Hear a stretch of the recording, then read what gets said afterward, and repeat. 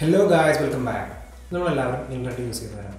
Internet use ചെയ്യുന്ന നമ്മൾ സാധാരണ രീതിയിൽ ക്രോം മോക്സില ഫയർഫോക്സ് പറയുന്നത് യൂസ് ചെയ്ത്? ഇതൊക്കെയാണ് നമ്മൾ യൂസ് ചെയ്യുന്നത്.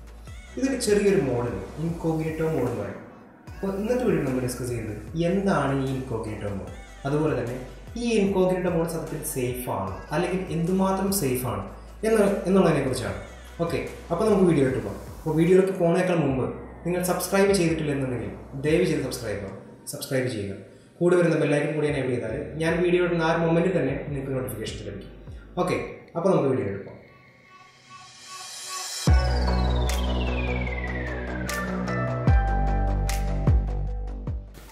ഇൻകോഗ്നിറ്റോ മോഡ് എന്ന് വെച്ചാൽ അത് സാധാരണ ഗതിയിൽ ലേറ്റസ്റ്റ് ആയിട്ടുള്ള ചില ബ്രൗസറുകളിൽ ഉള്ളൊരു ഫീച്ചറാണ് ഈ ഒരു ഫീച്ചർ യൂസ് ചെയ്ത് നമുക്ക് സേഫായിട്ട് ചെറിയൊരു രീതിയിൽ പ്രൈവറ്റ് ആയിട്ട് നമുക്ക് ബ്രൗസ് ചെയ്യാം ഇന്റർനെറ്റ് അതാണ് ഇൻകോഗ്നിറ്റോ മോഡിന്റെ ഗുണം.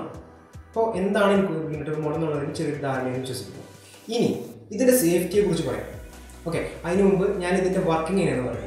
അതായത് ഇൻകോഗ്നിറ്റോ മോഡിൽ നമ്മൾ ബ്രൗസ് ചെയ്യുമ്പോൾ നമ്മൾ സൈറ്റിന് കൊടുക്കുന്ന ഡീറ്റെയിൽസ് അതുപോലെ തന്നെ പാസ്വേഡ്സ് ഇമെയിൽ ഡീറ്റെയിൽസ് അതുപോലെ തന്നെ ഇതിന്റെ കുക്കീസ് ഈ വക സാധനങ്ങളൊക്കെ നമ്മൾ സൈറ്റിൽ ടെമ്പററി ആയിട്ടായിരിക്കും സേവ് ചെയ്ത് സേവ് ചെയ്യപ്പെടാം നമ്മൾ ആ സെഷൻ കഴിഞ്ഞ് ആ ബ്രൗസർ ക്ലോസ് ചെയ്യുന്ന ആ ഒരു മൊമെന്റിൽ തന്നെ ഈ ടെമ്പററി ആയിട്ട് സേവ് ചെയ്തിരിക്കുന്ന ഈ ഡാറ്റാസ് മൊത്തം ഡിലീറ്റ് ആയി പോകും ചുരുക്കി പറഞ്ഞു കഴിഞ്ഞാൽ ഒരു സൈറ്റിൽ നമ്മൾ ലോഗിൻ ചെയ്തു ഏതിൽ ഇൻകോഗേറ്റോ മോഡിൽ എന്നിട്ട് ആ സൈറ്റിൽ നമ്മൾ ലോഗ് ഔട്ട് ചെയ്യാണ്ട് ഈ ബ്രൗസറിന്റെ ആ പേജ് അല്ലെങ്കിൽ ടാബ് നമ്മൾ ക്ലോസ് ചെയ്ത് വയ്ക്കാം അപ്പോൾ ആ ഒരു മൊമെന്റ് തന്നെ നമ്മൾ എല്ലാ ഡീറ്റെയിൽസും നമ്മൾ കൊടുത്ത എല്ലാ ഡീറ്റെയിൽസും ഡിലീറ്റ് ചെയ്യപ്പെടുകയാണ്. അത് അതുകൊണ്ട് തന്നെ നമ്മൾ ലോഗിൻ ചെയ്തു എന്നുള്ളതിനുള്ള ഒരു തെളിവ്. അല്ലാന്നുണ്ടെങ്കിൽ ലോഗിൻ ആയിരിക്കില്ല. ആ സെഷൻ കഴിഞ്ഞു.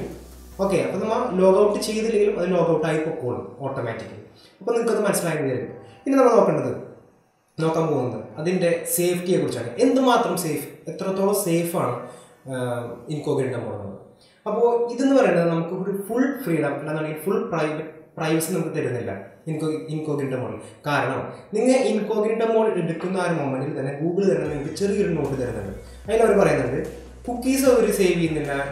വെബ് ഹിസ്റ്ററി അവർ സേവ് ചെയ്യുന്നില്ല. അതുപോലെ തന്നെ ഈ ഫോംസിൽ കൊടുക്കുന്ന ഡീറ്റെയിൽസ് കാര്യങ്ങൾ സേവ് ചെയ്യുന്നില്ല. പിന്നെ പക്ഷേ ഇപ്പോഴത്തെ റൈറ്റ് സൈഡിൽ ചെറുതായിട്ട് നിങ്ങൾ നോക്കിക്കഴിഞ്ഞാൽ നിങ്ങൾക്ക് കാണാൻ സാധിക്കും.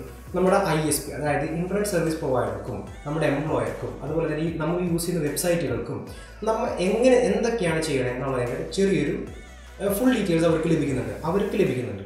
ഓക്കെ അപ്പോൾ സത്യം പറഞ്ഞു കഴിഞ്ഞാൽ നമ്മുടെ കാര്യങ്ങളൊക്കെ ഓപ്പൺ ആണ്. പക്ഷെ എന്നാൽ ചെറിയ രീതിയിൽ നമുക്ക് പ്രൈവസി ലഭിക്കുന്നുണ്ട്. അപ്പോൾ എവിടെയൊക്കെയാണ് നമുക്ക് ഇൻകോഗ്നേറ്റോ മോഡ് യൂസ് ചെയ്യാൻ സാധിക്കുക? ഞാൻ ചെറിയൊരു എക്സാമ്പിൾ പറയാം. നമ്മൾ ഒരു ഫ്രണ്ടിന്റെ വീട്ടിൽ പോകും ആ ഫ്രണ്ടിന്റെ വീട്ടിൽ ചെന്ന് നമുക്ക് അയാളുടെ കമ്പ്യൂട്ടർ അല്ലെങ്കിൽ ലാപ്ടോപ്പ് ഉപയോഗിച്ച് നമുക്ക് നമ്മുടെ ഒരു എന്തെങ്കിലും ഒരു ജിമെയിൽ അക്കൗണ്ട് ഫേസ്ബുക്ക് അക്കൗണ്ട് എന്തെങ്കിലും അക്കൗണ്ട് ഹാൻഡിൽ ചെയ്യേണ്ട ഒരു സിറ്റുവേഷൻ വന്നു. ആ ഒരു സമയത്ത് ഇൻകോഗ്നേറ്റോ മോഡ് യൂസ് ചെയ്യുന്നത് വളരെ ഉപകാരപ്രദമായിരിക്കും. കാരണം നമ്മൾ ലോഗ് ഔട്ട് ചെയ്യാൻ മറന്നു പോവുക അല്ലാന്നുണ്ടെങ്കിൽ അവൻ മാച്ചസ് ആയിട്ടുള്ള എന്തെങ്കിലും കാര്യങ്ങൾ ചെയ്തു വെച്ചിട്ടുണ്ടായിരിക്കുന്നെങ്കിലും ഇൻകോഗ്നേറ്റോ മോഡ് പ്രകാരം ഈ വക ഡാറ്റാസ് ഒന്നും സേവ് ആവപ്പെടില്ല. അതുകൊണ്ട് ചെറിയൊരു ഗുണമുണ്ട്. ഓക്കെ ആ അങ്ങനത്തെ സിറ്റുവേഷൻസിലാണ് ഇൻകോഗ്നേറ്റോ മോഡ് നമുക്ക് കുറച്ചും കൂടി യൂസ്ഫുൾ ആവുക.